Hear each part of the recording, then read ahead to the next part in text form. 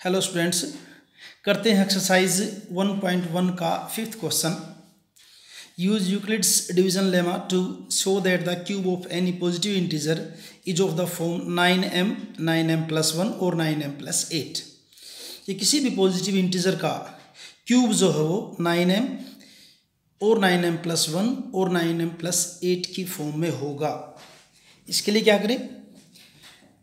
Let a be any positive integer and b is equal to three और Euclid lemma के help से हम क्या लिख सकते हैं फिर?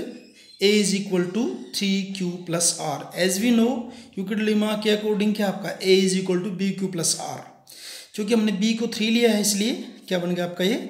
A is equal to three Q plus R where Q is greater than equal to zero and R R की वैल्यू क्या रहेगी हमेशा?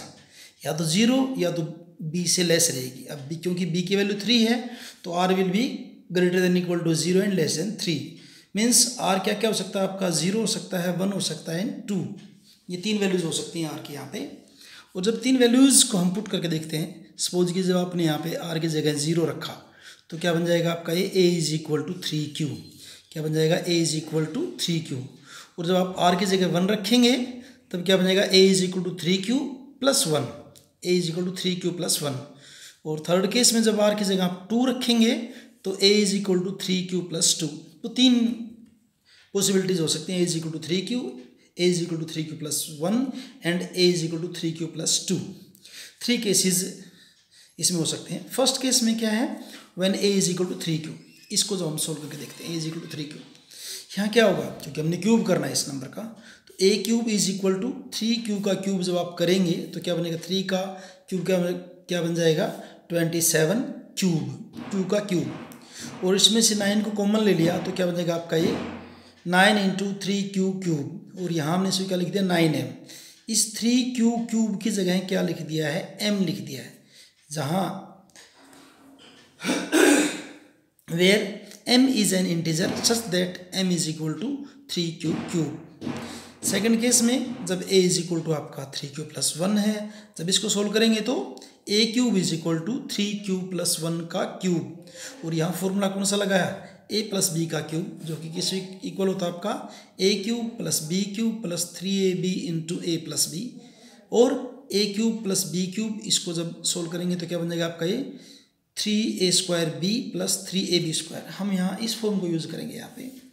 तो A cube is equal to A cube means three Q का क्यूब प्लस वन का cube plus three A square means three Q का square into B ये होगा और फिर three A B square three A की जगह थ्री क्यू और बी की जगह वन इसको सोल्व किया तो twenty seven Q Q plus one और ये twenty seven Q square and this is plus nine Q और उसके बाद ट्वेंटी सेवन क्यू क्यूब इसको थोड़ा सा एडजस्ट किया यहाँ पे twenty seven Q square plus nine Q and plus one इनमें से सब में से नाइन कॉमन ले लिया। नाइन कॉमन लेंगे तो three Q cube plus three Q square plus nine common लेंगे तो यहाँ पे क्या जाएगा आपका?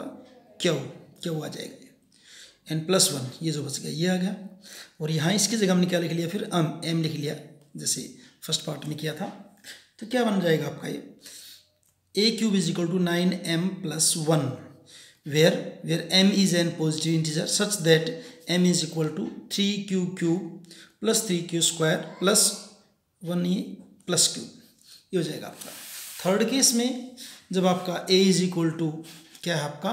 थ्री क्यू प्लस टू तो वही क्यूब बोथ साइड और इसको सोल्व करेंगे तो आपका ए क्यूब थ्री क्यू का क्यूब प्लस टू का cube plus three into three Q का square into B plus three A square भी जब करेंगे तो थ्री ए की जगह थ्री क्यूब बी स्क्वायर इनकी टू का स्क्वायर इसको सोल्व करोगे तो twenty seven Q cube two का क्यूब एट और फिर आपका twenty seven square twenty seven Q square और ये आपका थ्री थ्री ज़ा नाइन और टू का square four thirty six Q फिर इनको, फिर एडजस्ट किया seven Q Q twenty seven Q square plus thirty six Q और एट को यहाँ अलग से लिख दिया प्लस एट इनमें से सब में से नाइन कॉमन ले लीजिए। सब में से नाइन कॉमन ले लीजिए।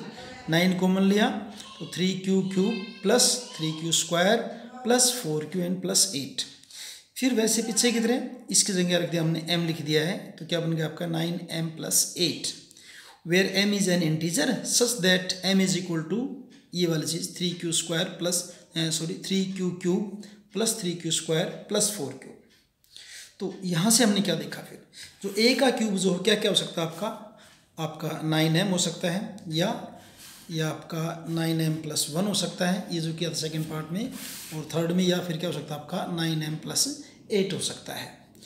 Therefore cube of any positive integer is of the form nine M और नाइन एम प्लस वन और nine M plus eight thank you